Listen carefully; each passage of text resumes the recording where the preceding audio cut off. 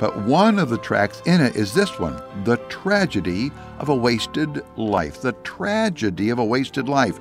This gospel tract begins with a testimony, a true testimony, of a man who had experienced the obvious grace and goodness and leading of God, but then he squandered it. He ended up wasting his time, wasting his talents, and wasting his treasure.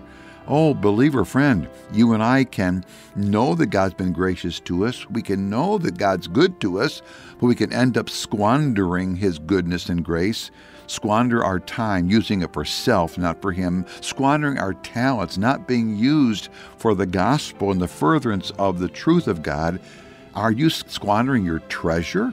Are, are your dollars that you make making a difference for the gospel any place in the world instead of just lining your pockets and for your retirement? God has things to say about every phase of our life. Here's a good tract. Not only does it present the gospel, it challenges believers as well about how we're going to live our life. The tragedy of a wasted life.